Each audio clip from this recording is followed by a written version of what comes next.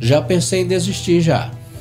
Desistir, porque para realmente seguir a carreira de cantor não é fácil porque as pessoas, algumas pessoas, até mesmo crentes por trás, eles criticam de mim. Criticam de, do modo às vezes de eu cantar.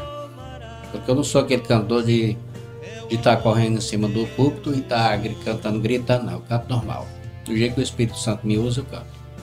A paz a felicidade